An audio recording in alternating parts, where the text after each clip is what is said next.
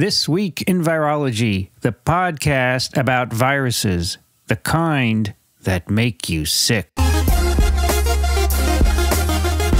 From Microbe TV, this is TWIV, This Week in Virology, episode 812, recorded on October 1st, 2021. I'm Vincent Dracaniello, and you're listening to the podcast all about viruses. Joining me today from Fort Lee, New Jersey, Dixon Despommier.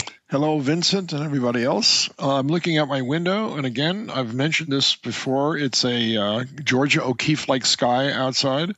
It's fall temperatures, it's in the low 70s. Uh, the humidity is very, very reasonable. There's a light, light wind, and um, yeah, we're going to start looking forward to the leaves turning soon, and it's it's autumn. Can't believe it's October. Me neither.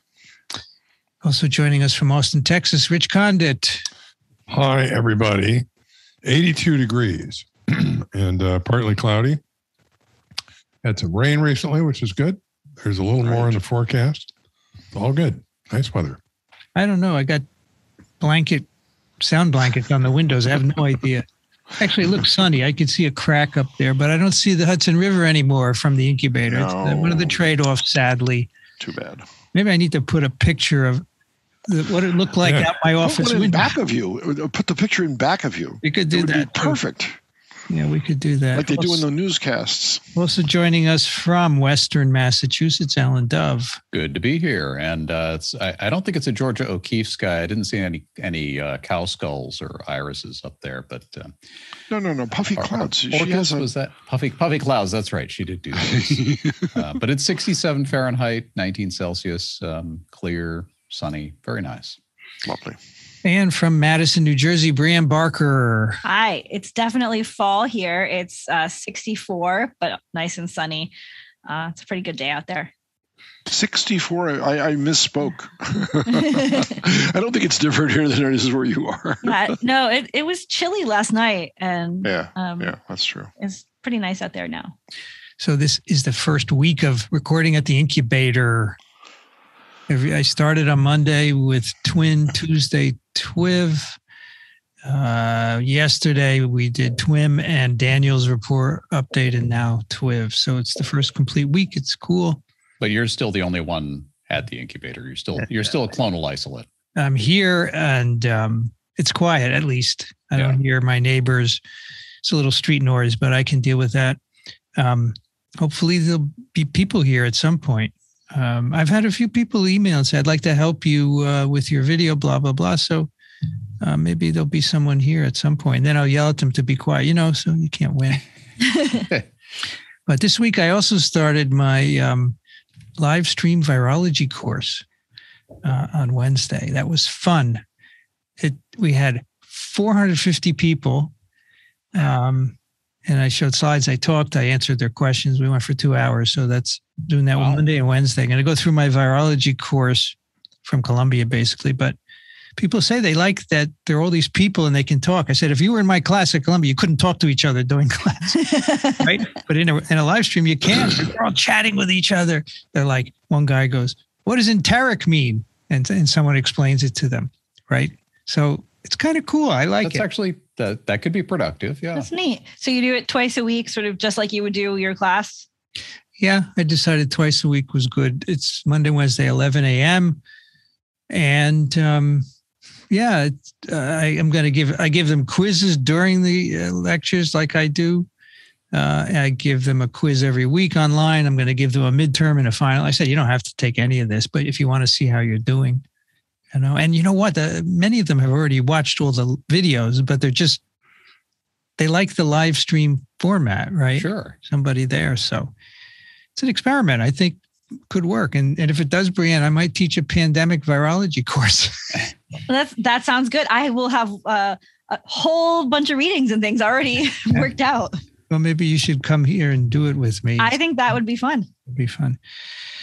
So yeah, I think this is going to be fun for the next years um, to to do and see what we can do here besides podcasting and so forth. I I'm going to have a little interview area built, and when people visit, you know, Penn Station is two blocks away. they can come and we can sit down and chat, right? So Yeah. could be fun.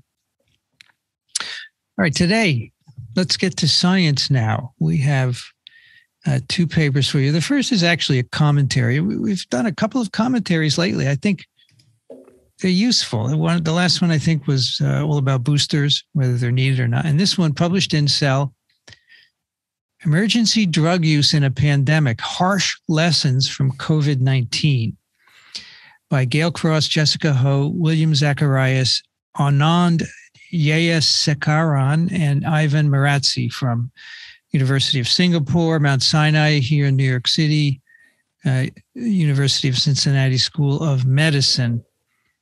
This kind of reminds me. Do you remember the episode last year where we had two physicians? It was called "All the Wrong COVID Moves." Yes, that was really useful. Yes. It's kind of a. This is kind of a written version of that. Like Yeah. so, their idea here, they say, is to contextualize the shared experience of scientific and clinical communities during the pandemic and examine some missteps and the lessons we have learned. Yeah, there are always missteps, right? But uh, they're pretty harsh here. And I'd like to go through and chat about them. And as always, it's fun to hear everyone's perspective as well. And they start, um, the section starts that they start with is called pattern recognition is a cornerstone of clinical care, even for a new disease. So the idea is you should really figure out the pattern early so you can treat it properly. And they say, you know, China and early outbreaks in China and Italy pretty much defined the syndrome. And they told us something, it was something similar to other severe respiratory infections like SARS and MERS that we'd already dealt with. And, and they say, yet, despite that, much much of the research in the first months was trying to differentiate it from other respiratory illnesses through nuanced approaches they say what are the nuances well how how is this different and they say that sort of ignored the fact that it's an inflammatory disease. People were trying to figure out oh is a virus reproducing in kidney and endothelial cells in the gut and so forth. And they're saying this effort overshadowed the fact that COVID was is in fact severe COVID, of course, not just the, not the early phase, is acute respiratory distress, ARDS, which I'm sure Ralph Barrick mentioned way back in February, Yeah. A couple times. Yeah. first time, uh, and you know he said, he said eventually we figured out that we had to give people oxygen, right? That's the way to treat ARDS, um, and that improved mortality. And I remember Daniel talking about turning people on their belly, right, proning Yes. Proning. for a while. Um, and he's and they also say it was very clear that people were dying of immune dysfunction. So do they, so did they in SARS one, so do they in MERS coronaviruses. And we didn't really take this up. They write a clear and coordinated clinical focus on immune dysfunction could have helped design better trials with greater emphases on immunomodulatory strategies. And they say the WHO is just now restarting trials of uh, immunomodulatory drugs. I mean, one of the things, one of the reasons I like this is this is really a clinical perspective, although we'll get Yes. to some basic science later. And I, I, I don't, you know, we're we're not clinicians here, but I appreciate um, how they analyze this. Well, and this perspective they bring up initially is um, that the the clinicians should have known better earlier, um, who were who were engaging in these these sort of digressions into well maybe it's different this way maybe it's different this way. But i think what might have driven some of that is that early on like march 2020 there were suddenly a lot of fully unoccupied basic researchers who were now very interested in this new virus. And and so a lot of the questions being asked by that group uh, kind of appropriately because as basic researchers you come at it from a different angle. You say okay well let's get down to the details. Let's figure out what's different about this. But their point that they're making here is in the clinic in the actual emergency the focus needs to stay on how do we save these lives? And what you knew at that point was this is acute respiratory distress syndrome. And mm-hmm. there's there's medicine you know there's there's a medical system for dealing with that. It's not perfectly effective, but that was that was the approach they should have stuck with. Yeah. Yeah. I mean, they, their conclusion is key lesson pattern recognition based on what we already know is key.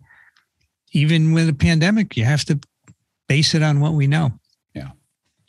The next section is called Principles of Evidence Based Clinical Care Must Not Be Abandoned in the Midst of a Pandemic. This is what Daniel says all Yeah. the time, right? Evidence based med- medicine. Uh, and they say so antivirals, immunomodulatory drugs were used early on, but they said most of it was done off label. And they cite hydroxychloroquine as an example, which did more more harm than good. And then more recently, of course, Ivermectin. ivermectin. And here, listen, folks, all you folks out there, despite high quality meta analyses showing little or no effect, it's continued to be used uh, off label. And, and they, they make a really good point here, which is when you do this, makes it really hard to then do clinical trials Yes.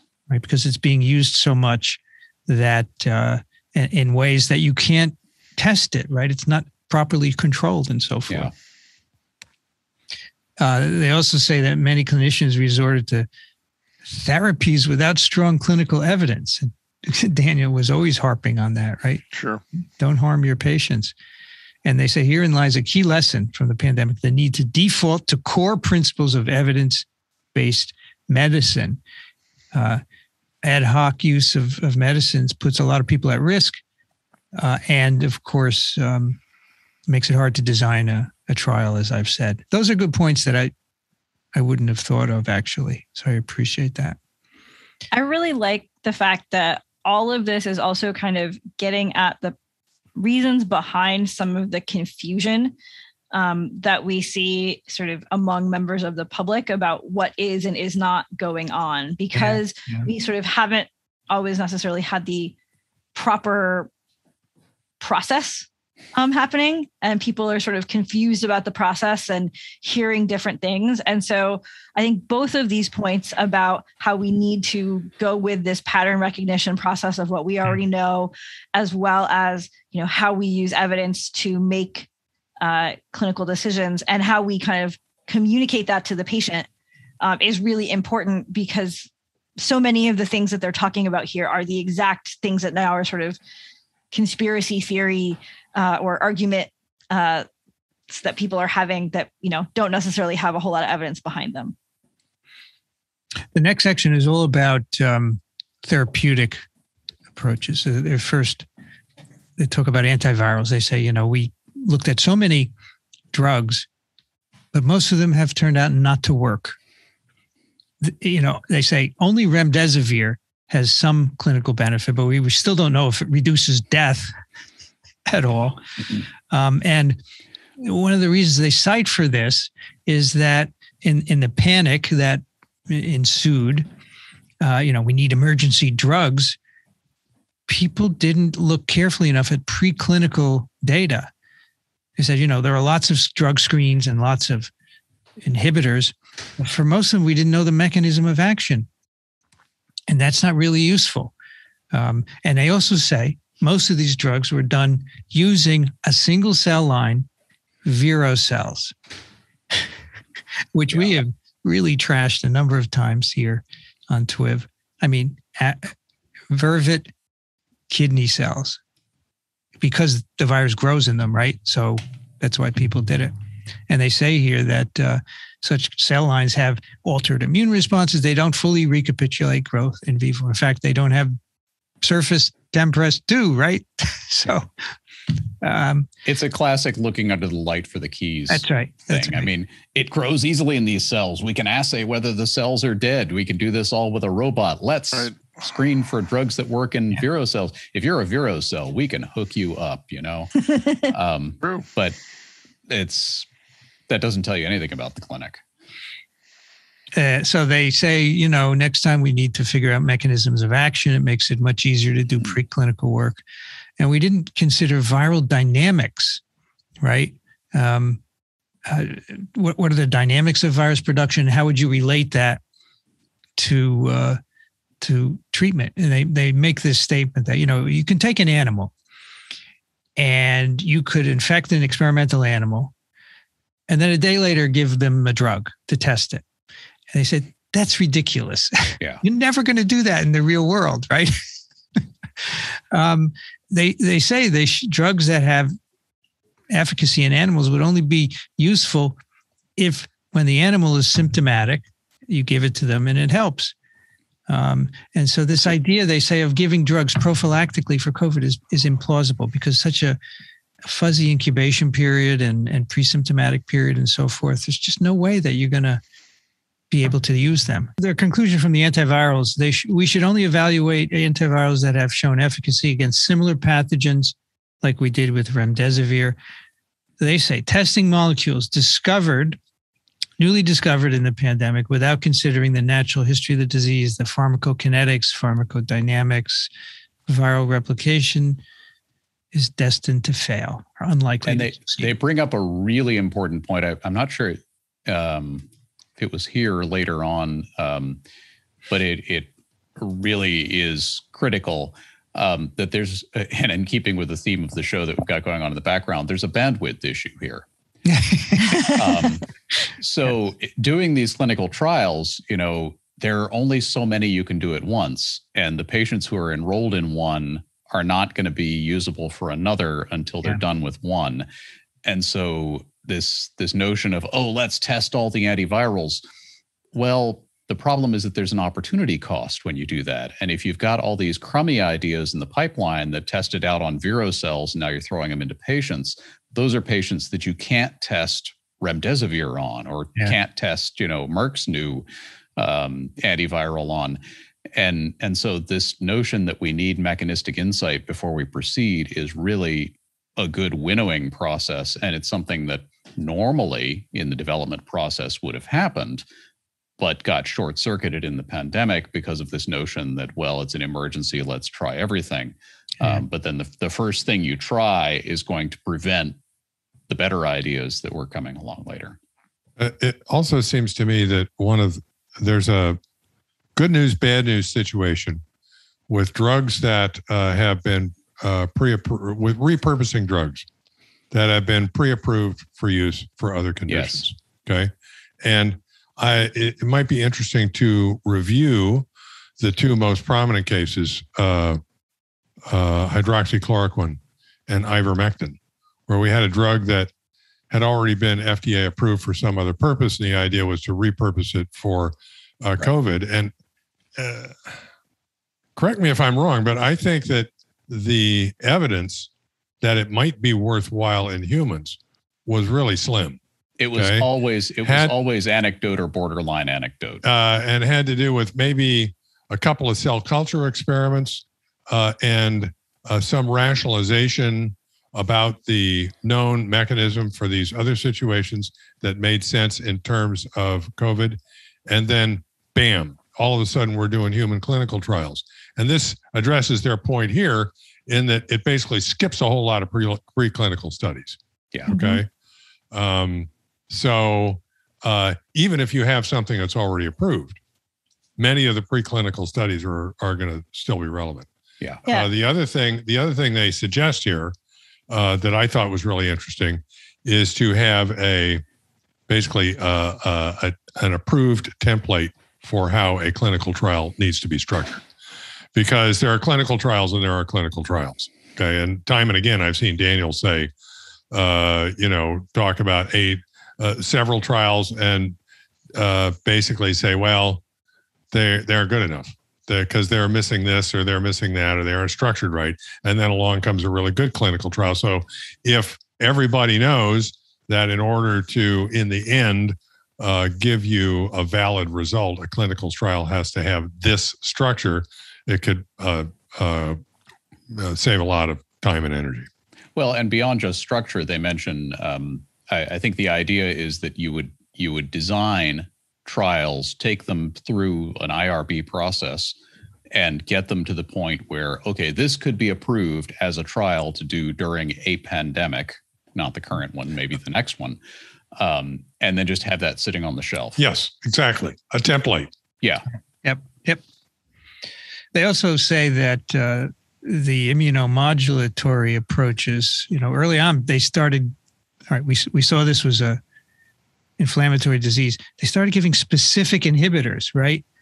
Yes. Anti IL one, anti IL six, and then what turned out to really work were broad spectrum ones like Dex, dexamethasone, or the uh, baricitinib, the anti-Janus kinase inhibitor. So they said, you know, we should have been able to back off and say a lot of pathways are uh, activated, inflammatory pathways, but I don't think we should go after a certain one, right? Yeah. Um, and also recognize that if you give these inhibitors too early, it's not good because you have to wait till the viral reproduction is under control, uh, and then uh, then later on. And Daniel always says this: you can't give the, the dex too early, otherwise you interfere with with virus clearance. So that's um, that's really useful. So their conclusion is the hardest lesson we learned is that our arsenal of usable antivirals and immunomodulatory drugs is relatively empty and poorly equipped to deal with emerging pathogens. We have to rethink how these drugs are prioritized, designed, and identified. My wife asked me this morning, why do we only have some pills just coming out like molnupiravir? And I said, because we put what 20, 30 billion into vaccines and very little into drugs. Yeah. We need to do better. Well, this is an old theme of yours, Vincent, is that there ought to be an ongoing effort to research these drugs so that you know it's kind of the the CEPI approach in a way yeah, yeah, is to uh, is to have a, a government funded effort to uh, bring uh, several classes of drugs that might have promise up to a point where you could do really robust clinical trials on a specific pathogen and have those ready to go. Yeah. Okay, but it requires a lot of uh, uh, legwork in the background. And those are trials that you, you would go through that templating process with. Yes. Right. But and you'd still need to do some preclinical work to actually Yes. show efficacy against the specific microbe. Yes. Right. So then they, they say, okay, what have we learned? What should we do? What are some strategies? And they say one issue is that you're not, you know, in this pandemic, people tried to figure out what animal model was good early on, right? They weren't sure. A lot of them didn't develop serious disease. It took months and months and months. Meanwhile, you should be starting trials. Uh, and they said there wasn't enough communication between clinicians and scientists on this end, right? I can see that that would be the case. You know, Ralph Barrick's in his lab making mouse models, but they need to be talking with clinicians. Maybe he was, but uh, according to them, uh, they need to do it more, more, because getting that animal model out may be limiting you. Maybe you have to go without it. Um, and they also say that um, you know in this pandemic that what drugs were evaluated was largely driven by clinical opinion, but not necessarily with preclinical rationale. So, preclinical is all the work that gets done before it goes into people. And they say that's really important to do that. And, and we need to have a framework. As, as Rich said, we need a framework for, for doing uh, trials, but preclinical data are really important. And so they give a list of the ways you should uh, put together clinical trials in the future they really say we need more close collaboration between clinicians and scientists. Clinical investigators must obtain input from virologists, immunologists, and pharmacologists to choose agents that will work during key viral time points. I think that's a, always a good point, right? Yeah. Yes, very much so. They also say we need adaptive trial designs, right? Which we have somewhat seen where you finish phase one and boom, you go right into phase two, and boom, you go into phase three, or um, you know that that sort of that sort of being flexible with the Yes. design, right? Because they said we did a lot of phase three trials during this pandemic that never worked. They weren't likely to work to begin with. They were a waste of money, and we shouldn't really be doing that. Well, a waste of money and a waste of patience. Yes. Because again, there's the opportunity cost. What could you have been testing instead? They, all right. So then they get to the uh, investment in research and development. As Rich said, CEPI is a good model for how you should be working on anti. Actually, CEPI does vaccines, and uh, Ready, the other nonprofit whose principals we interviewed, they do uh, antivirals. Nonprofits, they're doing the work where, where no one else wants to do it and bring it to a point where there's enough preclinical data to do a phase one. They say here that we we only have drugs for nine or 10 viruses out of the over 200 that cause human disease. And we need actually a global effort, right, for all of this. This cannot and this is be. going to this is going to have to come from the nonprofit and government funded world. Yes. Because for private industry developing an antiviral, um, especially developing an antiviral against a virus you haven't found yet, I mean, there's no Yeah. way. Yeah. There, Yeah. You, you you cannot take that to the boardroom and say, "Hey, here's what we're going to work on." No, you're fired. Yes. I was so glad that they have this information here. I am certain that I will be citing this paper a lot um, when talking to students because I always have a vague idea about that number, but now I have a specific number that I can quote. The last the last part is they say, you know, this has to be a cooperative effort. It can't just be, it has to go across states, uh, countries, international. You know, we have to have global cooperation because you end up doing a trial in one country and then you can't use the drug elsewhere. It needs to be done in multiple places at one time. But the bigger problem that they point out, which we all know about, you have one country making a vaccine and not sharing it because they haven't worked with anyone else. If they worked with other countries, then it would more likely be shared. And of course, that needs to be done. Cooperativity, global cooperativity. You know, I just I agree. I think it's so important, but I just don't know if it's going to happen, right? I think they're a little they're a little over optimistic here. I mean, Yeah, it's yeah. fine because they're concluding an article where they talked about a bunch of really bad stuff and it's kind of a downer. And then they get to the point where, you know, instead of these nation specific drug approvals, we should have a global system. And they point out that we've got uh, global global regimes for dealing with things like the threat of nuclear arms and climate change. And so why can't we have global drug approval? But drug approval is a in a very different category from something that is a collective threat like nuclear arms or climate change.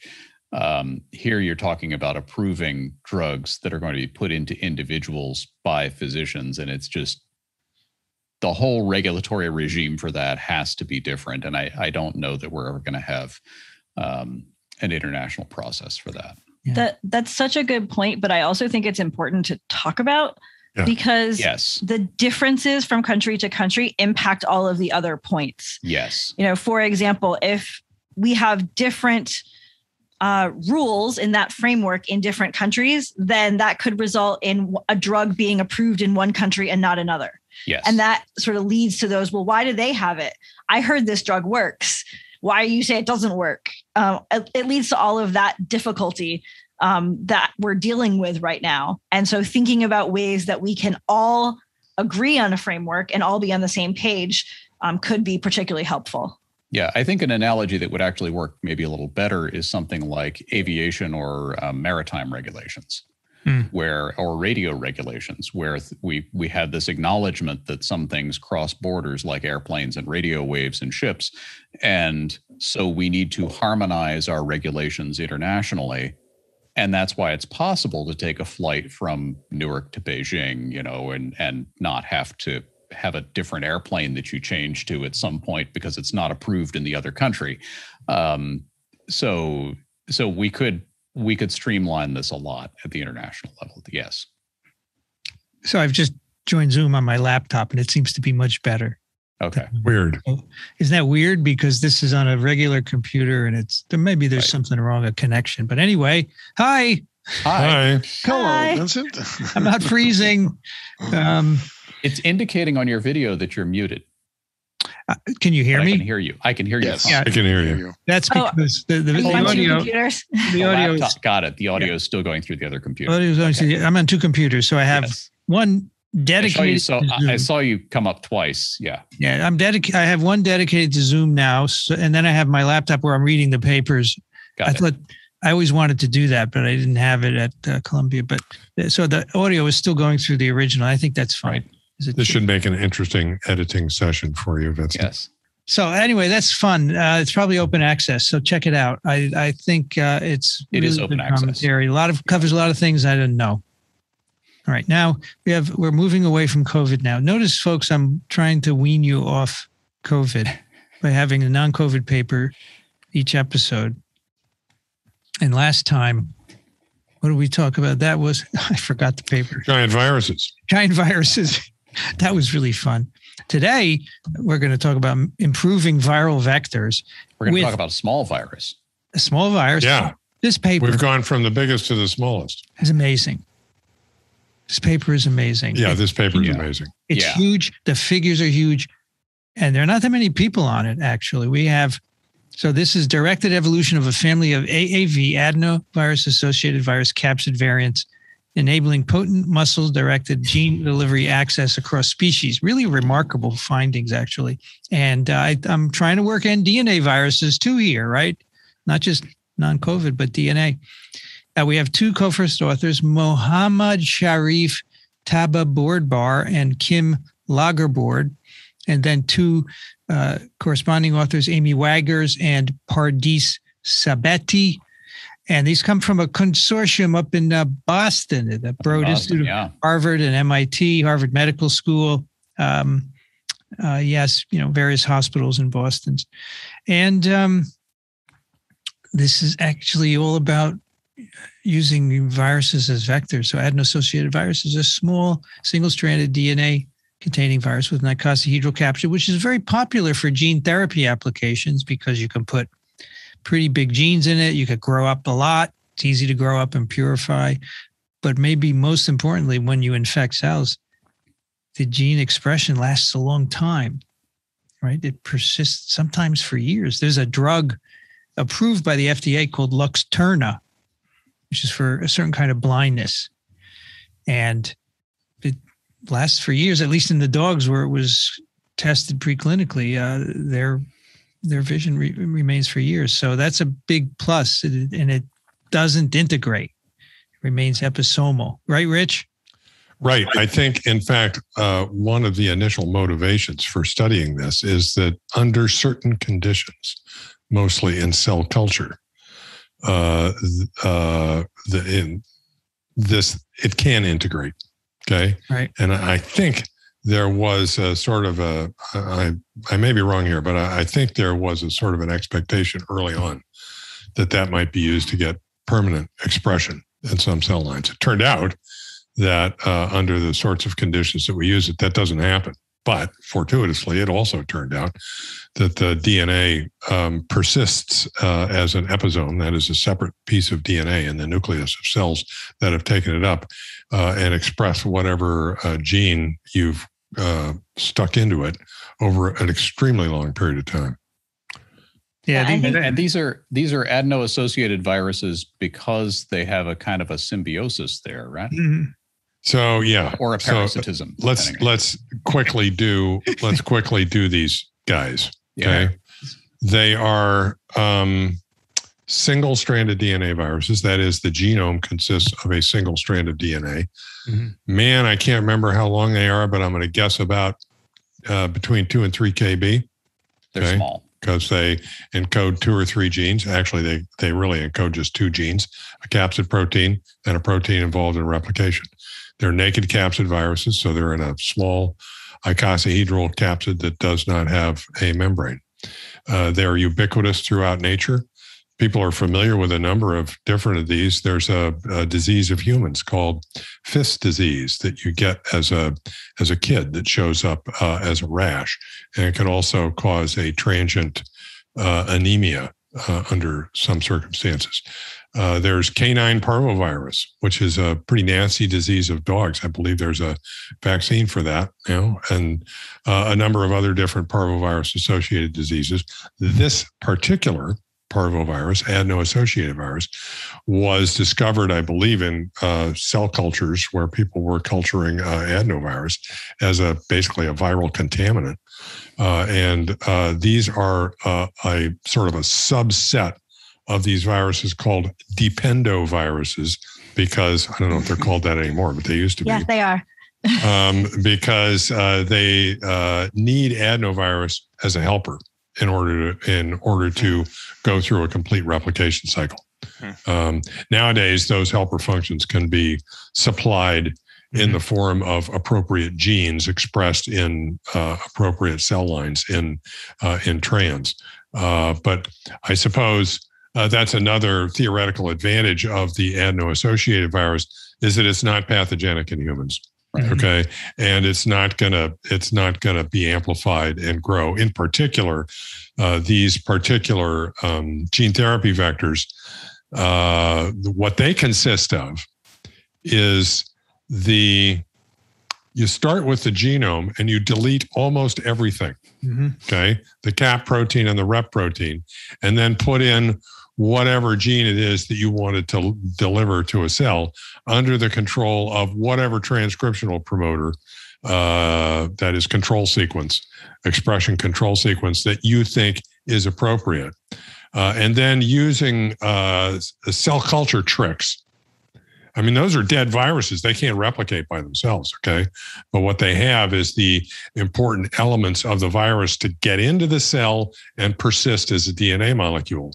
And everything else is just standard molecular biology.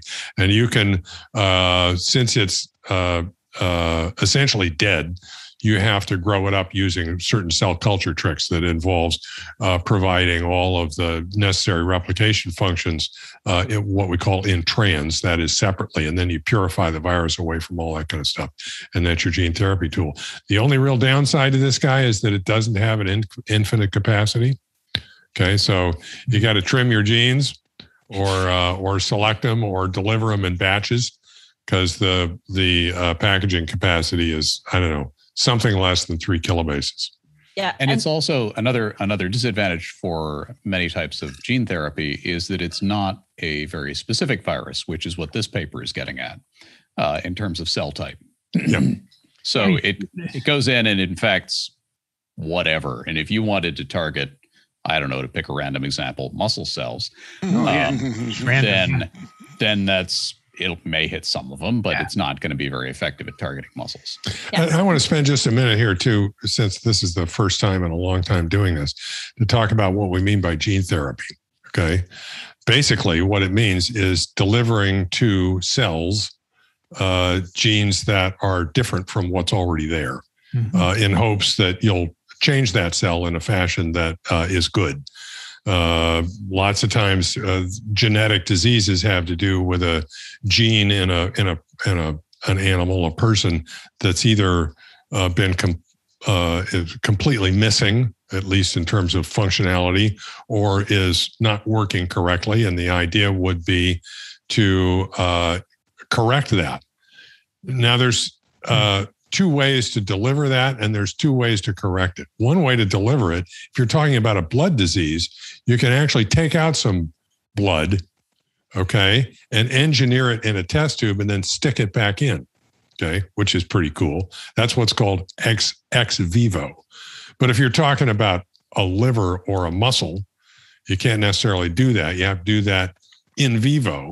So deliver your gene therapy vector and hope that it goes to the right place or engineer it so that it does, which is the subject of this paper, uh, and have all of the engineering done in place. Uh, now, downstream from that, there's two types of therapy, as the as I see it, at, at least two types. One is to um, supply Hmm. the missing or supply the correct version of the missing gene, okay, on an ongoing basis, okay, from whatever you've supplied. Okay. So deliver an adenovirus vector that provides a proper hemoglobin or something like that when the existing hemoglobin isn't working right. Okay. I'm just making that up. Okay. So, but the other uh, one that I was not totally tuned in to until this paper is given all the recent advances, you can deliver the gene editing tools with a vector. This gives me chills. and edit the genes in the normal cells. Holy cow. Yeah. Yeah. And I, when gene therapy just started, I don't think anybody was thinking that. No. Okay. But now with CRISPR, you can do that. You can do targeted gene editing from a gene therapy vector. Holy cow. Yeah. They do it in this paper, actually. Yeah. Yes. So, so there's there's one other piece of AAV that we should at least mention. Mhm. Um, so there are some ideas for a few different potential gene therapy vectors. Um, so those viruses that could deliver um, the genes, um, as Rich mentioned, and AAV has some pluses and some minuses. Um, but one other plus to it, or at least discussed uh, thing with it, uh, is the fact that um, it seems to interact with some aspects of the immune system somewhat differently. And so you may have some, you know, if if you were going to use adenovirus, say, it's possible that you could be all ready, you could have you could be ready to get some gene therapy and someone could say actually it turns out you have antibodies against the adenovirus we were going to use so your immune system won't let us do this. Sorry.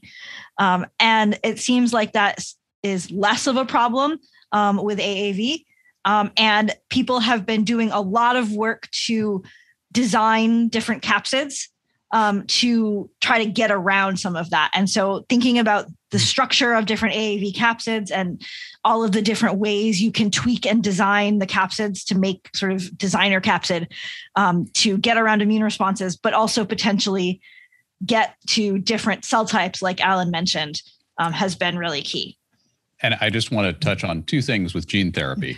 Um, so one is um, that that was excellent point on AAVs pluses and minuses. Um, the um, the viral targeting approach is one general strategy, and you pick your viral vector and you target your cells with a virus. Um, the other, as Rich um, implied with the uh, the ex vivo approach, is you engineer the cells outside the body. And the latest thing with that is to actually take patient cells um, use stem cell technology to backdate them to become stem cells, either pluripotent stem cells that can become almost anything, or just the stem cell for the tissue that you're targeting. Like mm-hmm. the patient has some genetic skin disease and their skin is falling off, you bring the cell back to become a skin stem cell, engineer it, implant that stem cell into the patient, which is which is science fiction of its own. You know, come it's become a reality. Um, so there's that approach. Um, the uh, there are risks and benefits of both of these types of strategies, and people are trying to proceed with caution. Um, the uh, the viral vectoring strategy has a checkered past of its own. There have been you know examples where people took perfectly reasonable approaches into the clinic. These are typically being done in very very ill patients because these are people with a genetic disease that for ethical reasons you don't want to do this on somebody who's just you know gee i'd like to change my eye color. You want to do it on somebody who gosh they're going to die if we don't do something. So if we have a bad outcome from this gene therapy trial well they're they're tossing in with what their odds were before. Um, and there have been unforeseen complications coming out where oh wow we didn't realize this virus could go to the liver like that. Patients did you know as a result of the vector um, doing something that we didn't know the vector could do. And this paper is going to try and address that by making the targeting more specific. Yeah well, the diseases that are addressed in this paper are muscular diseases a number of muscular diseases with genetic bases and we could correct them by delivering the gene or or altering as as Rich said the gene that's there. But we need a vector, an AAV that will preferentially infect muscle. And the problem with the vectors, AAV vectors that are used, is they tend to go to the liver when you put them intravenously. And that's great for a liver disease, but not so great for a muscle disease. So they say, we know how to modify the capsid. That's been done before. We have the three dimensional structure. We know places we can put amino acids in. So let's try and redirect these viruses to muscle and and take it away from liver or at least reduce it and see what happens. So they actually develop a platform which in the end you could actually use for any tissue that you're interested in, not just muscle. For with AAV vectors, you could modify in the same way. And this this platform is called Deliver. directed evolution of AAV capsids leveraging in vivo expression of transgene RNA. Soon to be a registered trademark, I expect. You think they worked really hard to get deliver to get I, all the words? I, this is like the names for, for, clinical trials or um, you know, they're or sometimes legislation is done this way where they they say, "Oh, Yeah. what cool acronym could we do?" But this is actually pretty descriptive of the approach that they're taking. So the here's the overall approach, and then we'll we'll go through some of the data.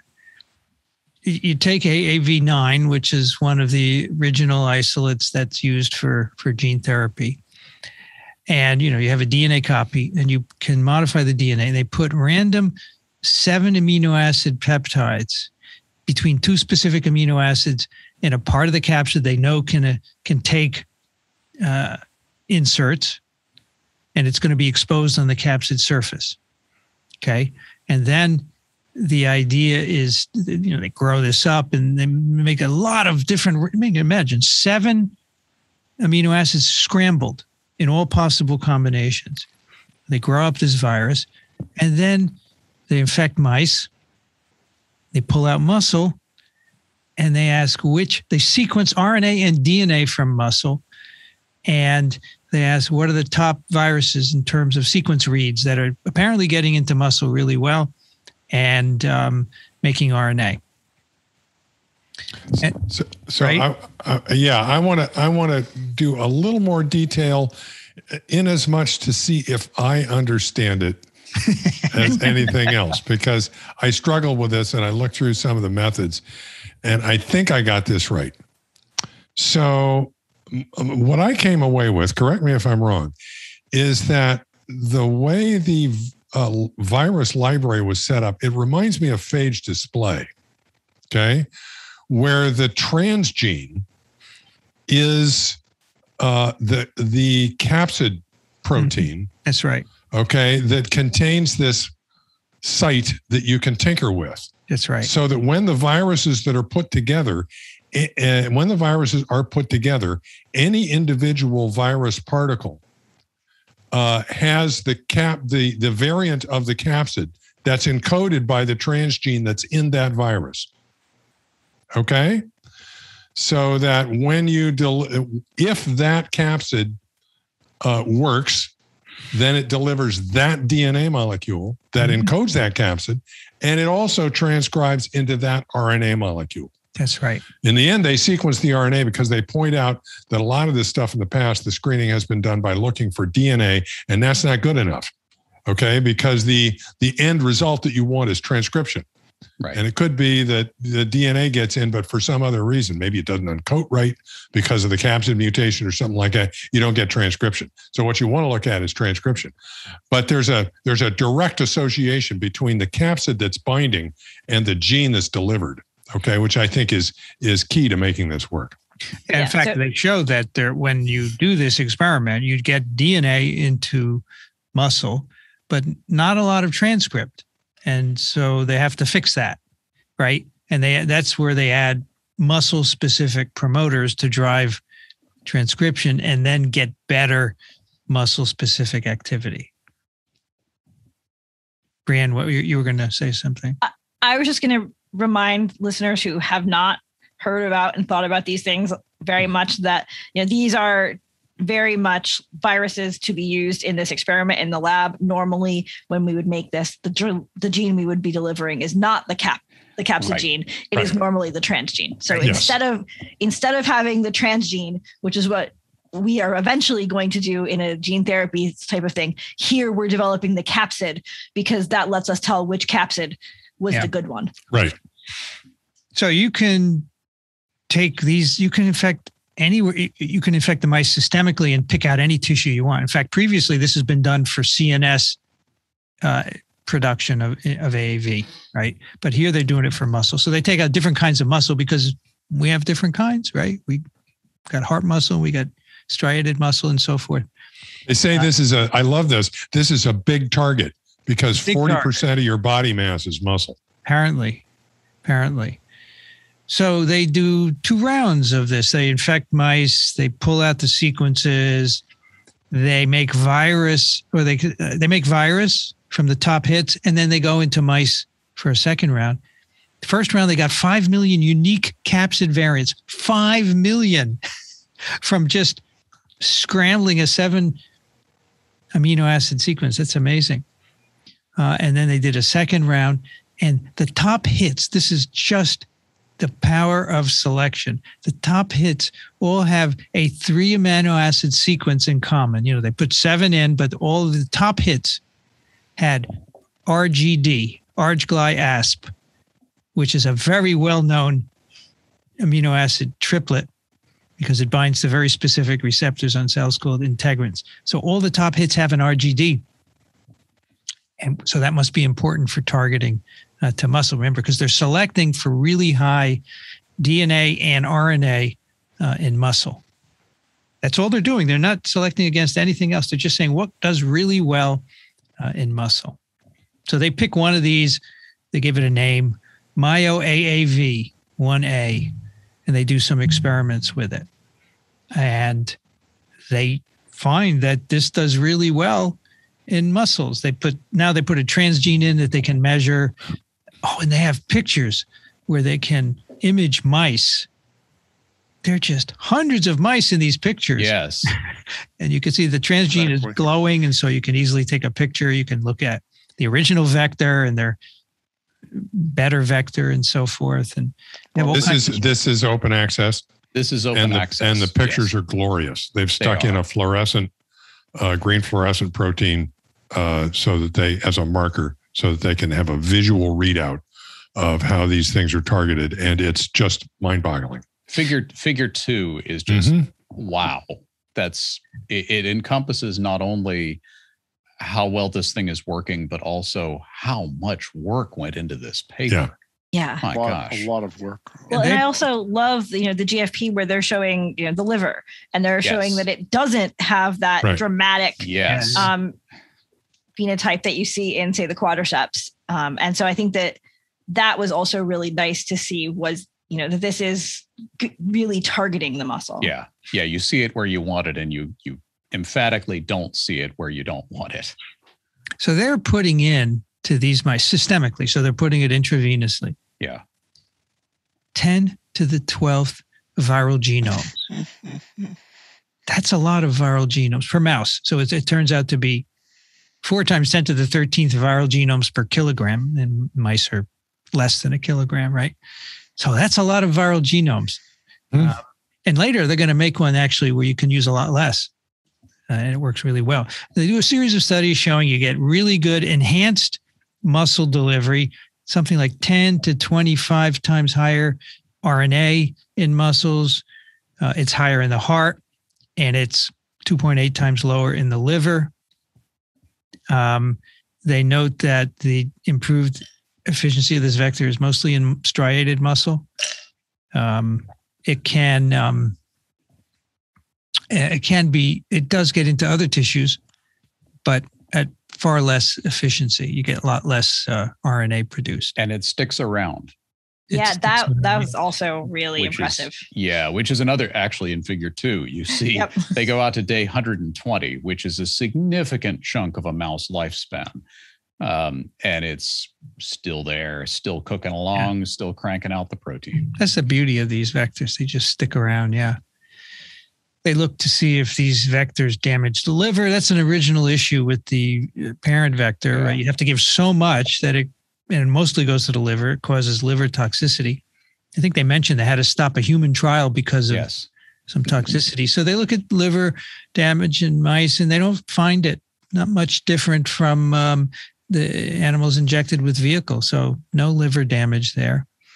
Uh, the antibodies against the parent virus AAV9 cross react with this one, which is good um, if you ever needed to stop it for some reason. This works, and they've tried different mouse strains infecting them besides the, the mouse they selected it in, a couple of other mouse strains. It works better in muscle, less better in liver in all of them. They tried intramuscular delivery, right? Because sometimes you might want to target a specific muscle. Same results, really works well uh, in the muscle. Um, and then they say, what about humans?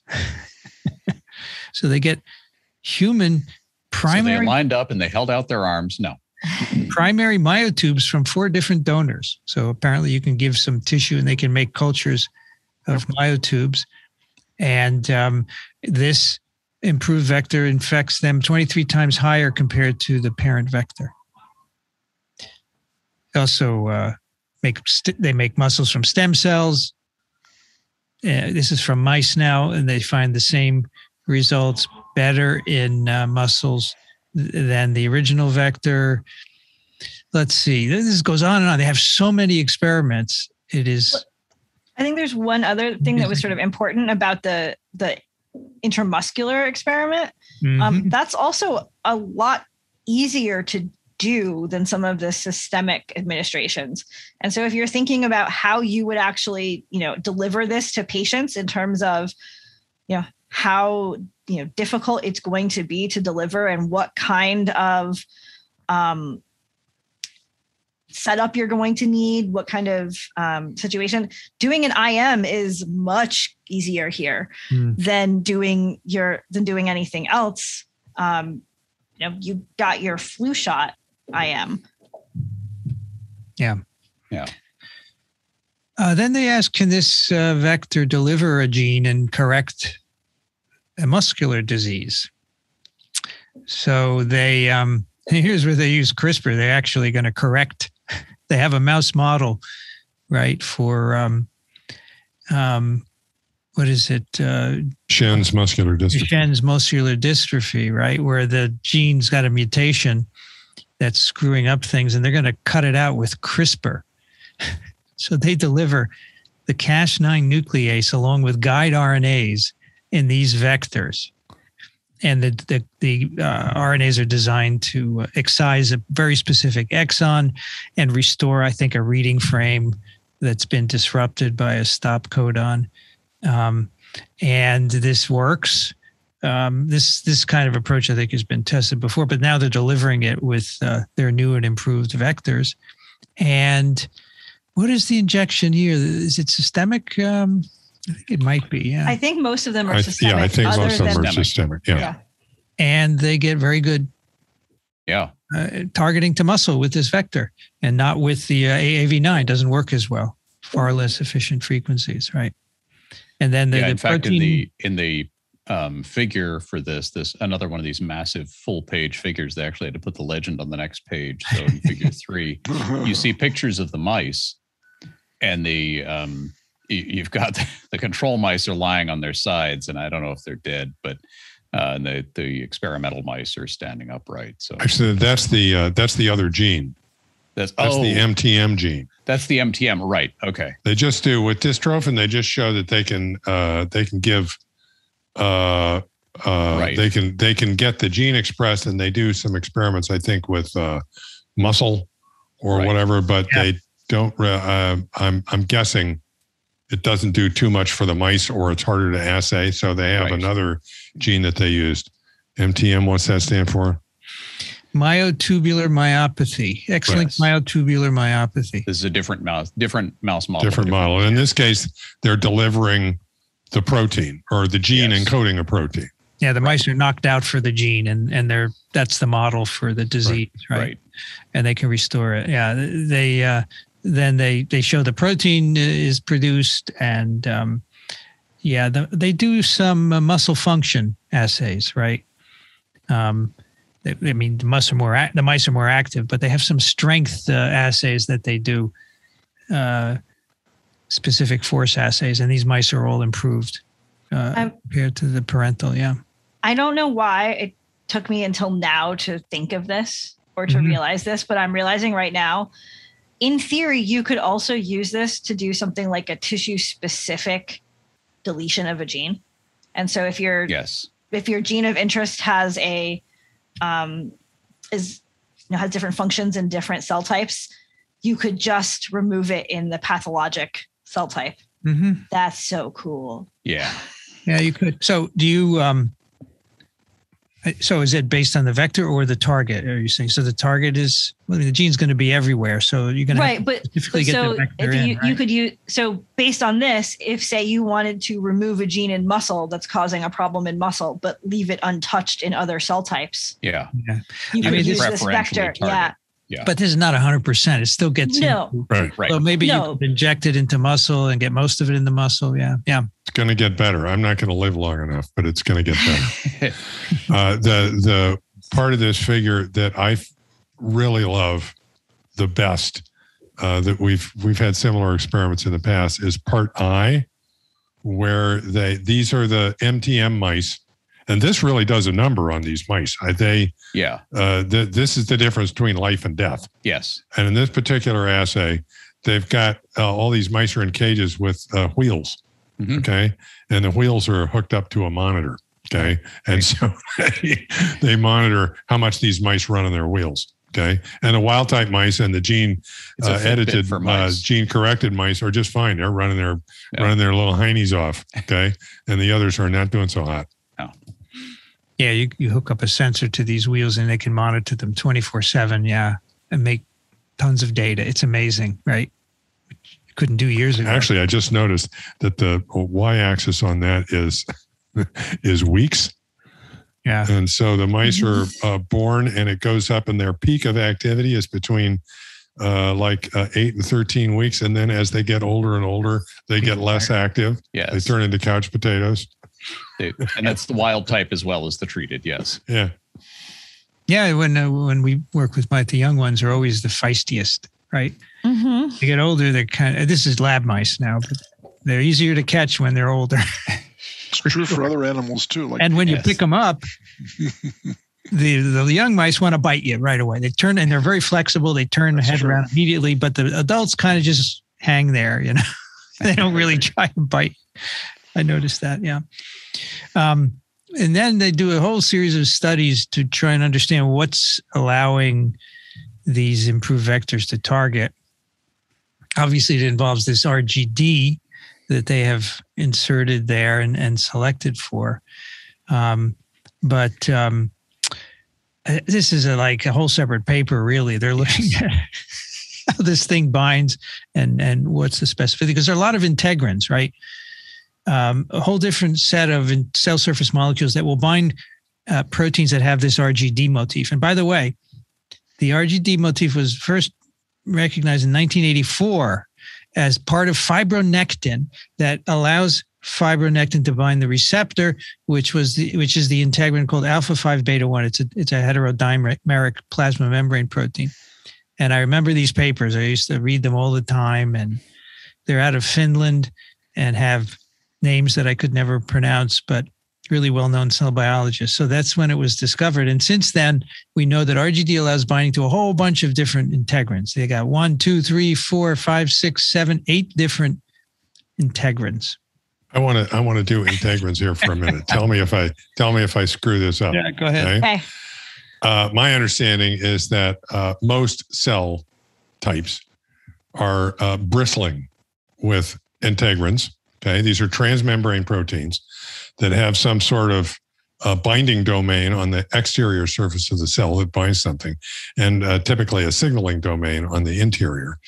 And uh, the things that they bind to, first of all, uh, cells in a tissue are not necessarily uh, well.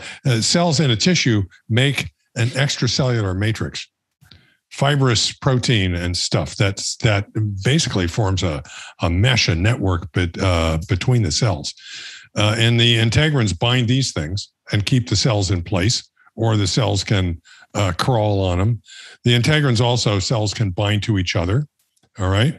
And when they bind things, they send off signals. Okay. So the cells can sense their environment, they know where they are okay, based on what their integrins are binding to. So they're like, um, you know, whiskers. Uh, Well, prehensile whiskers. Okay. Yes, because the cell the cell can also sort of open and close the integrin the integrin in order to bind to something. Mhm. Mhm. So really important and fascinating molecules. Indeed. And, and a bunch of them turn out to be receptors for viruses, as you might expect, right? They're on the cell surface, they're quite numerous. Um, a bunch of enteroviruses bind integrins. Uh, adenovirus, famously, the, the, the, the internalization receptor is an integrin. And in fact, So the vir- adenoviruses bind first one receptor, and then a second in, is an integrin, and that signals into the cell to start endocytosis and depolymerizing the actin microfilaments. It's just great. And I assume, correct me if I'm wrong, that there are differences in the extracellular matrix between one tissue and another. Yes. That a liver extracellular matrix is going to look different than a mus- uh, muscle extracellular Sure. matrix. Sure. Therefore, the integrins are going to be different. So it makes perfect sense that there might be tissue specificity in the expression of the integrins that one might take advantage that the virus fortuitously or you know anthropomorphically could take advantage of Yeah. for uh, doing tissue specific delivery. This is marvelous. Yeah, so I often think of, of the integrins as part of the address label um, that labels different cell types uh, to tell uh, white blood cells which ones they should go hang out in. Okay, right. It's like in some neighborhoods they pronounce it integrin and in others they call it integrin.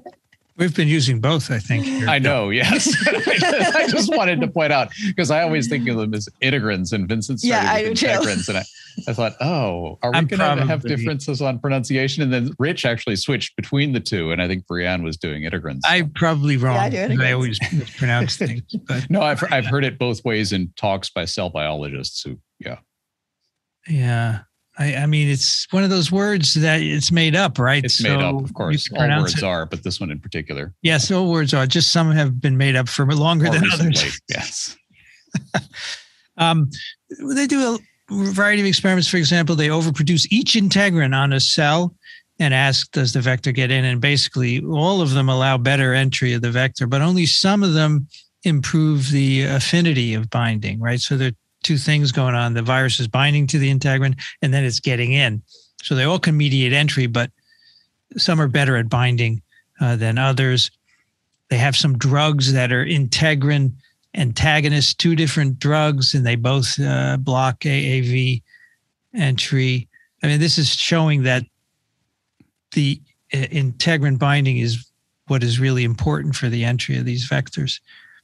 Um, they ha- they make soluble integrin protein. They produce it in cells. They uh, they purify it, and they ask, uh, "What does this do to vector?" Um, and in fact, um, so alpha V beta 6, the more of the protein you add, it inhibits transduction by these vectors. But none of the other recombinant integrins did that, even though they apparently the vector can bind to them and get in. But if you make the soluble receptors, only one will block uh, attachment. Now, you may think, why is that important? And only someone who likes receptors would really appreciate that. But you know, there's subtleties here. There's not just binding, right? There's other things going on, and uh, you'll see in a bit that that uh, plays a role. And this this integrin binding entry as, as an entry receptor, this is a newly acquired skill, right? For this vector. Yes, There's a, that's right. there's a there's an AAV receptor that's been identified separately that the virus normally uses to get into cells. And here, by Yeah. selecting for ones that get into muscle, they've selected for the ability to use integrins as a receptor. Yes, that's really cool. You can give it a new specificity. Yep. Yeah. So they conclude that alpha V beta six is has the highest affinity, and it must be on muscles by definition because uh, that's uh, possibly how it's targeted to muscle. Now, let's see. I don't want to. Let's not talk about the sugars. That's not so so interesting. But AAV receptor is a separate protein, as Alan has has mentioned. It's called the AAV receptor, AAVR. It's a it's a plasma membrane protein, and apparently most serotypes of AAV, except for a couple, will will bind it. And they want to know. So now that we've given the virus the ability to bind integrins, does it still need to bind still bind the old one. Yeah. the old one?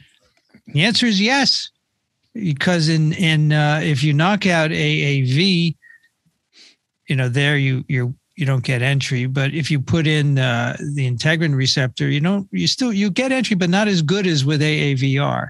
So they say the two receptor pathways are playing distinct roles, and probably utilized at different stages. So one could be a binding molecule, the other could meet, lead to endocytosis, or both, or who knows, right? So, it's as if the uh, uh, uh, integrin is or, or integrin is uh, serving kind of as a co-receptor. It could Right. be. It could be. yeah. Um, though you may have a very specific definition of co-receptor, Mm-hmm. but it's not. That's not a normal AAV thing, as far as I know. Right, as No, you said. typically it would just uh, bind to AVR and get in. Yeah. Um, by the way, there's a there's a we may I don't know if we'll get to it, but there's a uh, a commentary on this paper. I think in the same issue that That's Vincent, very good uh, commentary. yes. uh, and there's a, a picture of the there's a sort of a summary picture, a figure, uh, and it shows the capsid and colored and stuff, and you can see on the surface of the capsid uh, where the threefold protrusion is that they're doing this engineering, and so that gives you kind of a, a visual thing about there's this bump on the capsid Yeah. uh, that's being engineered that that uh, inter- interacts with the uh, integrin. Yes, it's a nice picture. Yeah. All right. Now, if this wasn't enough, they said, can we do better? Can we get a vector where we don't need to put in 10 to the 12th genomes per mouse, right? So they say, okay, we have RGD and that's really good. But what about the amino acids around it? Maybe if we mess with them, we could make it even better or efficient. So they randomize position amino acid positions around the RGD and make this whole do this whole um what's the name of the the approach again? Uh Liver. Deliver. Deliver. Thank you. And they do it again. They do two rounds in mice, uh, and they end up with top hits, uh, which are even better. And they have amino acid changes in the sequence surrounding the uh, RGD. Um, they do all the same experiments we have talked about, um, more efficiently doing muscle than liver, um, and they can use less less numbers of vector genomes than um, the original one. It's- This still binds an integrin, but uh, it appears to enable higher affinity binding. And, and now it's my, more affinity to more integrins than the original one. The original was alpha V beta 6, I think. And this one is higher affinity to others, which may help it get more efficiently into muscle cells. So that's pretty cool that they did that, right? Yeah, and Yeah. look at those mice and how much uh, transgene they're getting by day 21. Yeah. That's amazing. Then they they do another uh, therapeutic experiment, um, another. Um, th- th- th- there there are some human trials for DMD, muscular dystrophy, Duchenne muscular dystrophy, uh, using adenovirus vectors, but these are the parental vectors, not the modified ones. Um, and they mentioned that some of those have shown some improvement, but they use a, high, a lot of virus and they get some uh, toxicity. So they wanted to know in their mouse model uh, of DMD would this improved uh, vector work? And they um, they show it does work really better than the uh, than the first round of vector, and they can use uh, less virus. In fact, and you know, my, the dystrophin protein is made. It's in it's in a variety of pro, of uh, muscles, um, and they can use less vector to achieve the same effect. So that's good. And they also do some muscle uh, assessments, specific force measurements. Here, push against this pad. I don't know how it works, but there you go. Now, now, if that wasn't enough, then they say, what about non-human primates? So they do the, the selection in cynomolgus macaques. Same same idea. They start with AAV9. And I just want to reiterate the amount of work huge. in this. My, Yeah. I, I, wow. I wonder how long this has been going on. I, it's been going on at least a couple of years because I know Oh, a paper was published in 2020, which did this a similar thing using a different approach. And they mentioned in the discussion while this work was in progress, that was published, and that was 2020. Right. So they end up getting the same RGD hits. Yeah, that the highest efficiency. They take out the tissue from uh, the cynomolgus macaques and they pick the highest viruses, and they have RGD again. And when they repeat it, they get surrounding. They can do the surrounding motif, the surrounding amino acid experiment. They get the same amino acid selected, which is kind of nice because the non-human primates are are close to humans, right? And we don't know if what's going to work in a mouse will work in, in humans. So it's kind and of you, nice. you obviously can't do this the same way in humans No. where you cannot. you know do the selection and then then take the tissue you're interested in Yeah, you really can't. You have to deliver a therapeutic gene. you have to you have to Yeah. already be done with the selective Yeah, yeah. process when you get to the human No, so you- you you- presumably do the selection in mice or in something else but yeah, and, and we're non-human primates here, and and um, so then um, they take these viruses and give them both to uh, cats uh, and mice, and um, they show they transduce muscles better than liver uh, in both. Ah, amazing. That's that's it. Yeah. So in That, oh, that's all. that's that, all. that's it yeah So uh, similar results in, in non-human primates, although they say in the discussion, and I want to f- pull this part up that I highlighted here. So um, um, there's a difference in, in the mouse variants are not as good in non-human primates as the non-human primate variants. They work, but they're not as good. But the non-human primate variants work really well in both non-human primates and mice. And they say that's important for preclinical evaluation because now you know the mouse is comparable to the non-human primate if you use the NHP selected uh, vectors. And so, right you know, in your preclinical work where you're doing it in two, uh, and, and you could do it in mice, for example, you don't have to use non-human primates, which would limit the number of animals that you could do. Right. Right. So you you could do, let's say you wanted to target, I don't know, um, some other tissue. Um, but let's say you wanted to target heart, but the cardiac muscle preferentially. Um, and so you do this experiment again, you would do your initial evolution in the non-human primate, get your Mhm. virus, figure out, oh, okay, this is the virus we need. But then you could do your actual trial, uh, your preclinical testing of can we get the therapy in? Is it effective? You could do all Yes. that in mice. Nice. You could do it in mice because you can And use one- hundreds of mice, right? And you- can't Right. use hundreds of You can't use hundreds of no. I wonder if there's uh, not some sort of um, organ culture system or maybe Yes. cadaverous tissue or something that you could use to do the selection on human tissue. it occurred to me that um, you could do this with either stem cell derived tissues or organoids or um, What about those myotubes they made, but maybe they're in small demand. Maybe you can't get enough of those to do it at the quantity they need, right? I mean, based on based on what we've discussed so far, I would kind of, if, if at all possible, I'd want to do some this in something that is like a tissue yeah. Because of the role of the uh, integrants. I, Yeah. I'm Okay. or, organoids are the way to go. Human human Maybe. derived organoids. Actually, that would be a good experiment, a proof of concept to do, to do the selection in an organ muscle Yes. organoid and see if you get the same things, right? Yeah, that would be key. Yeah. So here we have we they've made uh, AV derived vectors which have better targeting to muscle. There, you can use less. There's no liver toxicity, and so a, they say it's a proof of concept. You could use this for any tissue. You just pull the viruses out of whatever tissue you want, and you could do similar things. Now they mention one thing here I think is really interesting. They say th- these integrins that bind RGD, they're not specific to muscle. You can find them in other tissues. So why is this preferentially these vectors transducing muscle? They say we don't know. We have a hypothesis though. We think that you, okay, you need the integrin on the cell surface, but that's not enough for this muscle specific activity. There's something downstream may have to do with signaling when the virus binds the integrin.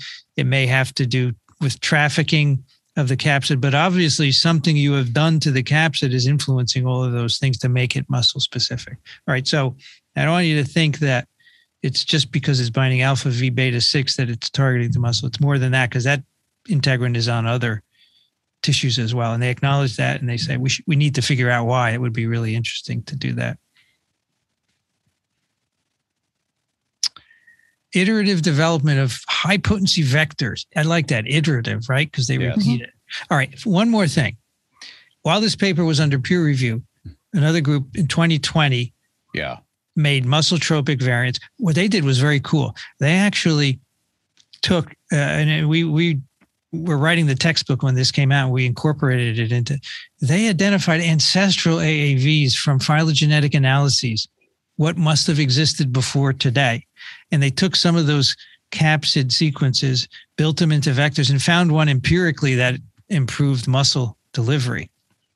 That's what they. So they didn't do the kind of thing that was done here, but nevertheless, they have a whole paragraph devoted to saying this is good what they did. It, it's we support each other's findings. Yeah. It's not like we were ignoring it. We're not going to tell you because we're pissed that they did it, but we're going to we acknowledge that two people have done this. That's important to move the field forward, and that's what we need more of. We need that kind of transparency and not Absolutely. saying Well, and it's So, and it's a good uh, point because they they arrived at a similar result, it's right. Which important. tells you, you know, this actually did work. It's- Right. There's a there's a network of muscular dystrophy workers. I knew one of them uh, at Columbia, and um, they they are very different people because this is an intractable disease. If you ever see a victim of muscular dystrophy, you'll understand why they're so devoted to this, um, trying to make a difference, obviously, and uh, they're very sharing. They all get their grant money from the Muscular Dystrophy Foundation, which used to be run by Jerry Lewis, as everybody would recall. Yes. I don't I don't know if this grant was supported by that. Probably was a little bit, maybe most of it. But um, this this group meets once a year in Las Vegas in order to well maybe not all the time in Las Vegas, but they certainly did meet there a lot. And um, it's a very like I said, it's a very sharing group. So there are muscle cultures, by the way, which you can set up to start off with myoblasts and end up with myotubes and uh, you can study the evolution of striatoskeletal muscle this way because that's what I used to work on uh, in terms of the parasite that I was interested in. So a lot of this sounds familiar to me, although in the distant past. Uh, the integrin story, of course, is there, but uh, this is uh, amazing, and they still haven't worked out a way of getting this message to every diseased muscle cell so that you can Mhm. convert a person with muscular dystrophy to a normal person. And, and Brienne, I think that's why they don't go for the injection into muscle because you're going to just affect that part of the muscle, but you're not going to affect the rest of the body. So, I mean, you got um, the problem is that you have as an adult you have all your muscles developed right you're not like it's not like your immune system which is continually regenerated from stem cells right Right. so if you introduce these genes into muscle stem cells it wouldn't help all that much right, Right. yeah, well, you try to identify a muscle stem cell, and it turns out to be a myoblast. Mhm. And then there's the satellite cells that they talk about in these little indented pockets along the striated cell muscle tissue, which uh, supposedly takes over when a muscle cell gets damaged. Uh, the evolution of a new muscle cell starts with these satellite cells, and Yeah. uh, kind of a mystery as to what they actually do after they start to move towards a muscle cell D- Dixon, you, you mentioned Jerry Lewis. Is he one of your favorite uh, comedians? No, actually, Uh, in his very very early uh, days, yes, but uh, no, he's not on my list. I'm sorry to say. He was he was not big in this country. He was big in France. Big in France. That's right. Really? No, no one in this country could figure that out. By the and way. if you've if you've ever seen French uh, clowning comedy, you'll yeah, yeah, yeah, understand yeah. why That's- it's yeah, that's right. very That's- it, it's very much the same kind of Ever- silliness. he he was ever- very mime like, very mime like, and Yeah. and I think that's a. Very physical genre that uh, that Alan, he would you- resonated very well with. Did you ever watch Mr. Hulot? Any of those? Oh Oh. yeah, a lot of lots lots Those are the them. clowning. It's it's old. It's quite old. Okay. uh, Yeah, The but one I he's remember, fantastic. Mr. Jacques Tati. Jacques Tati is his no, name. it's it's silent, right? He he doesn't talk. He's just all miming, and it's That's correct. That is exactly right. So he's always making fun of modern world. Always, uh, Yeah. you know. By the way, you you guys were talking about tissue systems, and they say here um, you, we could use human muscle xenografts in mice, right? Ah, yes. Right. Oh. Right. Okay. Take a new Yep. mouse and There you go. put There human you muscle in, and it will you go. grow, and then you go. Of can course. make That's sense. right. Yes. That's right. Anyway, I, I really like this because it's amazing science, and Oh yeah. Right. but also that this was going on during COVID. I really like that some people really kept focus Yep. on other things, right? That's Also- good. I know that the Sabetti lab also did a lot of COVID sequencing and stuff, but Mm. really good because there are a lot of other important issues out there, right? And by the way, in the acknowledgments, they talk about their funding sources. And one of the people on this proposal, PCS, Hmm. got Hmm. a Shark Tank Award from the Broad Institute. Can you imagine? They have some kind of internal funding where they must have a competition, Oh, right? interesting. I kind of don't like it because you know why, right? Yeah. But it's an interesting idea that you said, okay, we're going to have this competition for this one grant that we have, and uh, you guys pitch it to us. Well, right? it's kind of a directed evolution grant proposal process. all right, cool stuff, folks. you bet. Let's do some picks. Right. Dixon, you're up. I know. Um, my pick is this this week. Uh, comedian is uh, Sid Caesar, and uh, he was actually my father's favorite comedian. Uh, it was a tie between he and uh, Red Skelton, and so I picked this bit that he did with uh, Howard Morris uh, called "The German General," and you can't not watch it all the way to the end and understand what it's about because um, Sid Caesar was a, a fantastic um, imitator of foreign languages without saying anything, and he would every now and then he would throw in an English cognate so that you could follow along with what he was saying, and his attitude was, of course. Uh, attendant with the words that he was using, and you'll see this bit. It's just an absolutely stunning, flawless. Remember, this is live television and uh, from in front of a live audience, and they didn't blow one single opportunity to absolutely make you laugh like crazy. They did, uh, though, somehow patch in the end of this uh, bit with um, outdoor scene, which you'll see uh, as you, you you look through this. But it's it's, it's one of the all-time classic uh, comic routines. So I, I thought you'd enjoy it. I wouldn't have picked uh, Sid Caesar. Uh, you liking it, Dixon? I love Caesar. You I, do? Love, I love him. Yeah, he was great. He was he was he used to be a comedy writer for um oh let me think.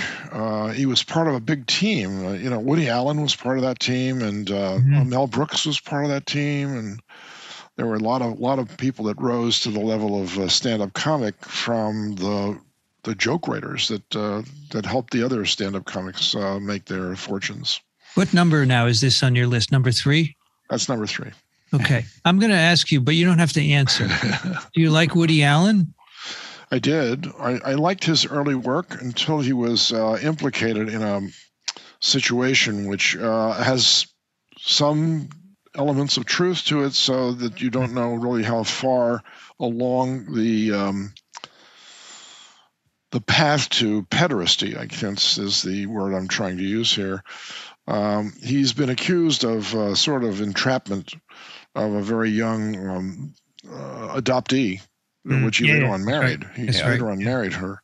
Yeah. And uh, as soon as that started to emerge as to his, Yeah. um, I, I, I just it was just turned off. I'm sorry, it was, but his early work, like Sleeper, Yeah. uh, was absolute and Bananas. That they were just He's, absolutely. he's one of my uh, problematic favorites. Yeah, yeah, yeah, the I'm term with that you, people Alan. I'm- apply to this now where, Definitely oh gosh, I'm you. really into it, really. And then you discover some Yeah, horrible yeah, thing about them and you say, oh, wow, That's right. we even That's right. That's right. watching those films anymore? I- I- Someone, Yeah.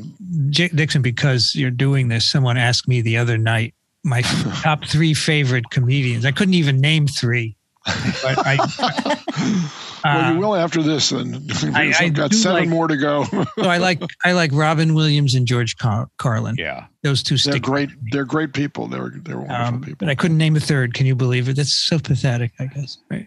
Oh Well, well. Rodney Bill Dangerfield. I'm Cosby sure used to you be way up on my list. Talking Oh, about yeah. There's another problematic problematic faves. comedian. That's- That's yeah. right. That's right. You know, I have still his vinyl, his early vinyl albums. I don't know Save how many them. times I listened to those when I I listened to them worth- over and over. worth So money. funny. I Yeah. really like them. I started out as a child. I was so good. Yeah, it's too bad. It's really too bad. But he was really Well, talented, right? You know, there's some parallels between comedians and scientists, and uh, certainly James Sure. Watson fits into that Yeah, category. yeah. Uh, a fallen hero who, uh, you know, had a a weak spot in his personality that eventually was his downfall. And Well, we know a lot of those people now because of the Me Too movement.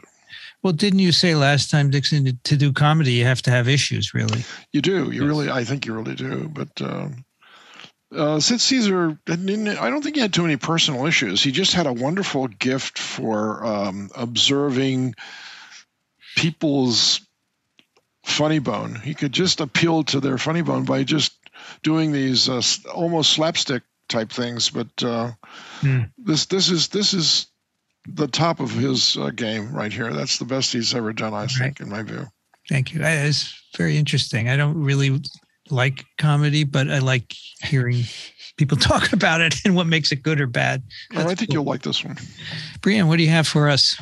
Um, so I have an article that I was really shocked by when I read it. I actually sat around and sort of said, "Why did no one tell me about this?" for quite a while.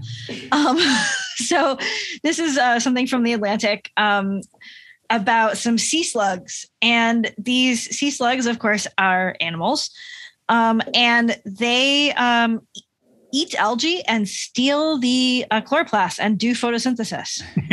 um, so basically, they are able to do short-term photosynthesis, even though they are an animal, based on eating uh, some other uh, photosynthetic organism. And I just thought that was so cool. Uh, and it, in some point in the article, it mentions, "What if you could eat a salad and then have the salad feed you for a week?" So, so they actually stick their chloroplasts into their own cells. yeah, Holy cow! right. Yeah. they they steal the photosynthesis. Uh, photosynthetic machinery from the algae that they eat, That's cool. um, And- and, then we'll go for um, it's months to like a year on the Wow. photosynthesis from those stolen. Well, so that was my next Chloroplast. question. Is there any any uh, estimate of how much power they get out of the photosynthesis relative to because there's probably still eating, right?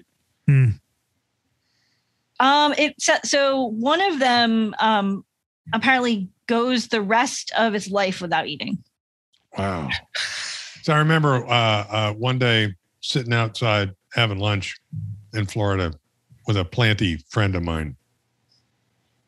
Nassine's daughter, as a matter of fact, um, lamenting the fact that I had to work and thinking, you know, if I could just photosynthesize, Right.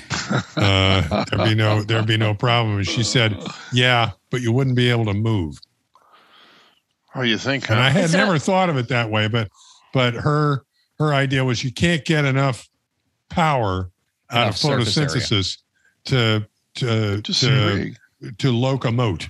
No, that's not Okay. true. Right. Euglena is like that. but it's a, is a- this is a surface to volume problem. So these sea slugs are Yeah. flat and they're moving slowly. And I think that combination allows them enough surface area that they can have their chloroplasts. And I love this term, kleptoplasty. I know kleptoplasty. Yes. it's fantastic. Kleptoplasty. So, uh, Brianne, there's a website, a lot of websites, but uh, Aplysia is one of those uh, Hmm. sea slugs. Also, they're called uh, sea hares as well. Yeah. And uh, aficionados of uh, saltwater aquaria collect them because there are so many varieties. And there's a high resolution photograph website that I have accessed occasionally just to look at. And I made a collection of them once. And you should go there sometime and see how beautiful these things really are. They're Oh, I- quite, I will. Yeah, I quite, like I said, quite wonderful animals in every respect. I just read this whole thing and basically yeah. wanted to know why no one told me before. But the point is that I think Rich was making if you're a, a large animal, multicellular animal like mice, be tougher. y- y- they can't be supported by photosynthesis, basically. Right. no. No, probably not. Yeah. It's still cool. It's very You cool. know what? Maybe cool. bats. If bats, you know, because they Oh, have they a large never get the area energy of to wing. fly out. Of, no, They the have like solar flight- panels. They could have solar panels. You know? no, That's the same reason, Alan, you could never fly a plane with solar panels, probably, right? not just running on the solar panels. No, We- Yeah. we, wouldn't get enough power.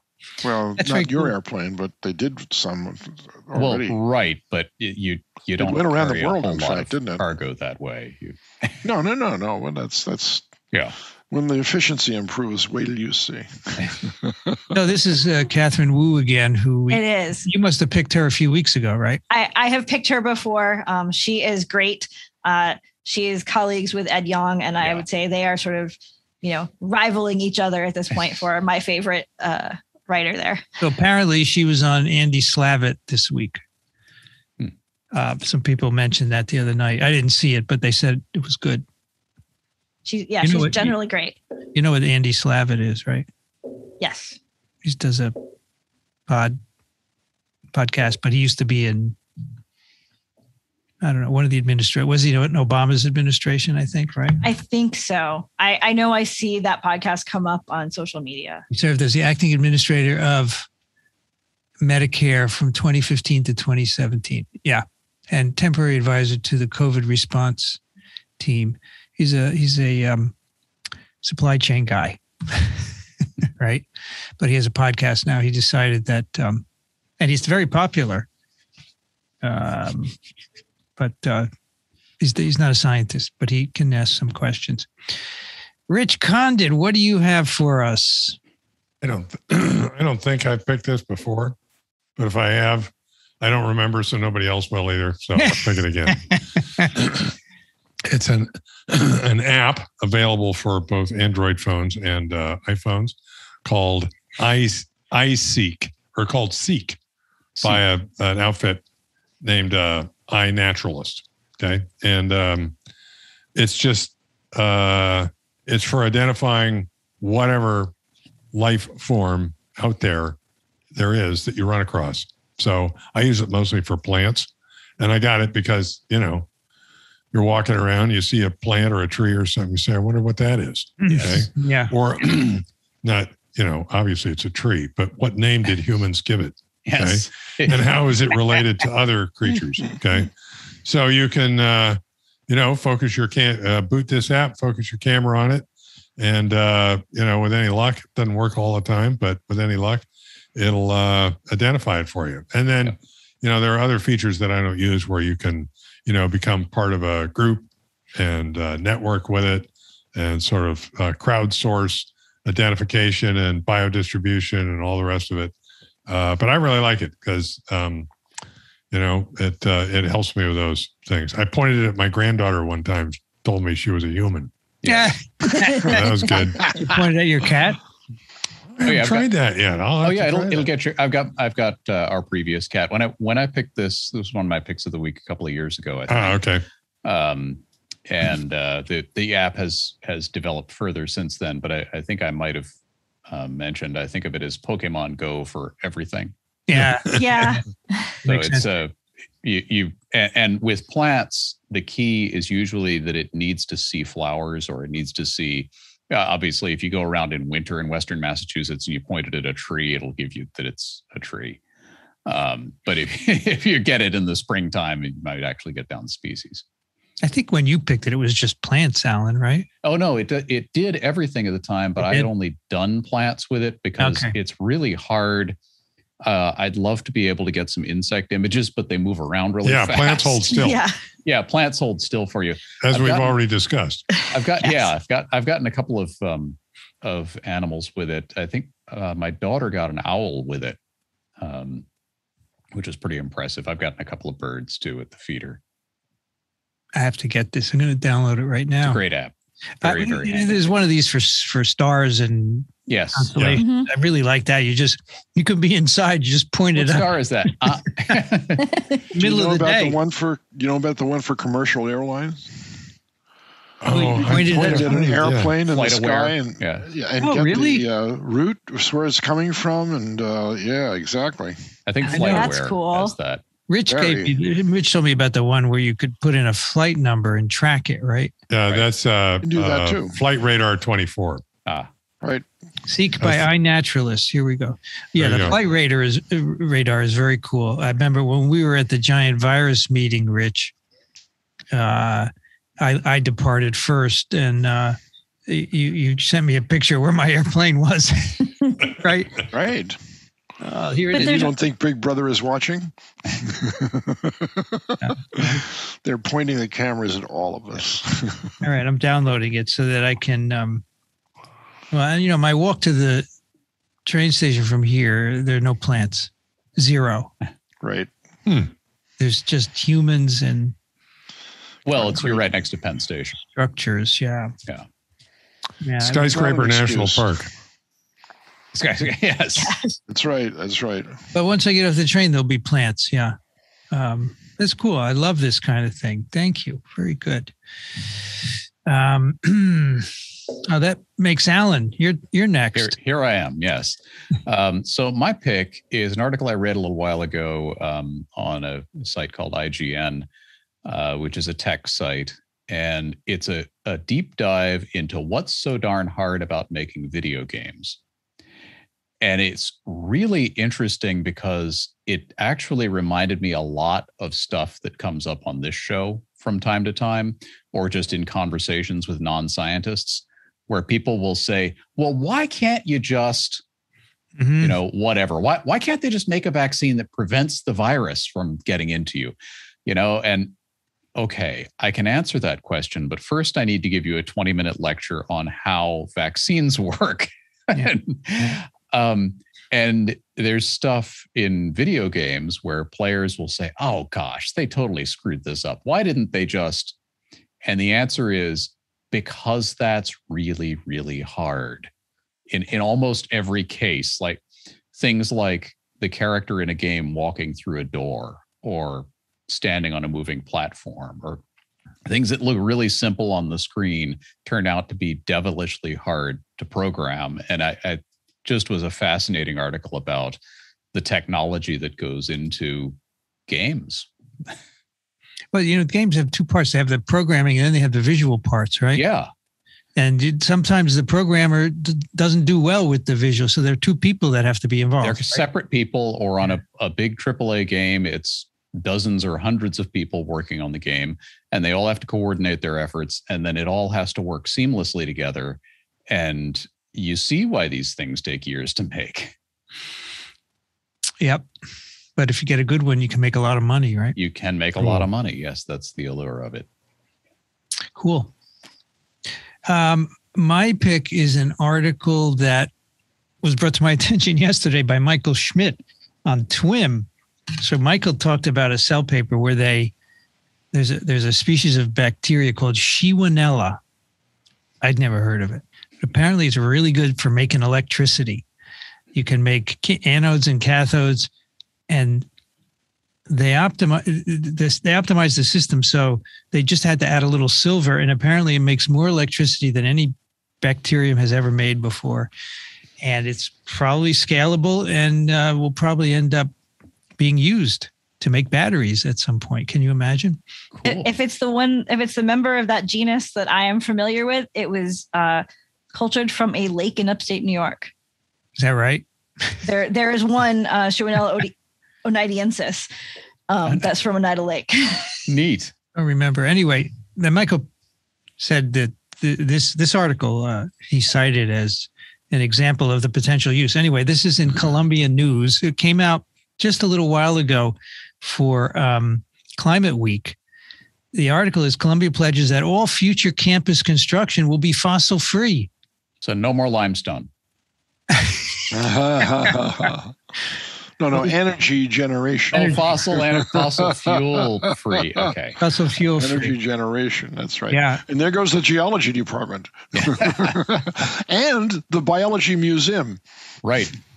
Dickson, were you lot of Yeah, aware, in there. were you aware of this uh, I was not, but I'm thrilled. I'm, I'm absolutely really thrilled. cool. So they're going to try to figure out how to fully electrify the whole campus, replace combustion of fossil fuels with renewable uh, energy sources, and they have goals, right? They want to be a certain percentage by a certain time, and this is cool, right? It's all possible. All of it is possible. Um, so no, they're not going to buy electricity from Con Ed, right, Dickson? Well, that's what they don't want to do. That's true. So this is new process that uh, it's discovered by both groups at uh, uh, Michigan State University and MIT. It's a solution of um, chemicals that obviously they, they they don't want to release what's in it yet because maybe they'll form companies based on it. But you can take a piece of glass window and paint this material on it and let it dry, and the window is still clear. Mhm. But now the window functions as a photovoltaic. So that you can actually replace all your windows with photovoltaic windows, which allows the visible spectrum to come through, but the infrared and the ultraviolet are captured by this material, shunted to the edges of the window, and picked up by electrodes. And so you've converted photons to electrons to electricity. Imagine how many um, cubic meters of glass there are in New York City. But Just look at all the buildings and you can figure out how much energy potential there is Sure.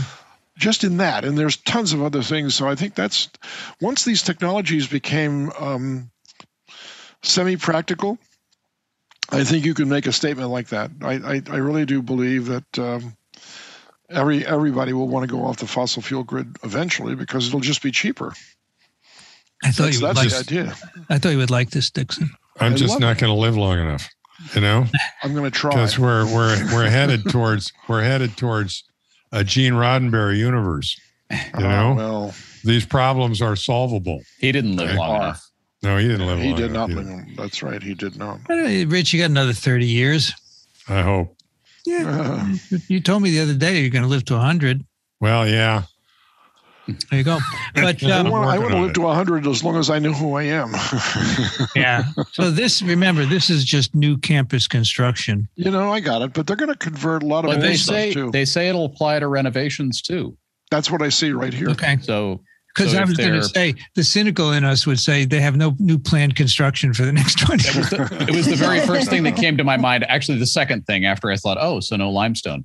Um, I'll tell you what- The, the second thing that came into my head was it's Columbia, so it must be because they fully built out their campus and they're not building anymore. Yeah. Right. But th- but they actually they're going to apply this. Um, they claim to um, to renovations as well and exactly. Exactly. and repairs. But also, um, the main, the Morningside campus is built out, but it is. uh, the the um, one in between Manhattanville, which is between the two campuses, that's not Yep. fully built out, and Right. this, this would apply to that. No, and look at all the buildings on Manhattanville that have just solid glass windows on all Yeah. sides. Those would be perfect candidates for this kind of an approach. But um, this is great. I mean, I Yeah. think it's really fantastic. The Manhattanville campus, I've been in one building there. It's Mhm. the whole wall is glass. Yes. Right. It's just a sheet of glass on the outside with their pane, Exactly. but there's, you know, not like Hammer where the glass only goes halfway down and then it's something else you can't see through. And it's completely soundproof. There's a elevated subway that goes right in front of Oh, the building. important. you can't hear it. That's I was at a wow. meeting and I'm looking at these trains go by. and I can't even. The, the meeting was boring. trains that go by, I couldn't hear them. It's amazing. So to come back to the other campus, though, the, the building that really needs to be replaced with a new building that does all of this is the Department of Architecture. Uh, that's one of the oldest buildings on campus, and yet all of the modern architects, uh, you know, flock to this this Mm. department because they learn so much. But the building itself is impossible to navigate. It's absolutely. Is it not a very interesting building? correct? All of the above. Because you don't want to take down Low Library or Butler Library. no, no, no. They're Right. no those pretty. are iconic buildings. Those are Yeah. iconic buildings. But but the buildings that really should be functioning, they should be preaching what they preach. Hmm. And uh, the building itself does not preach what they preach.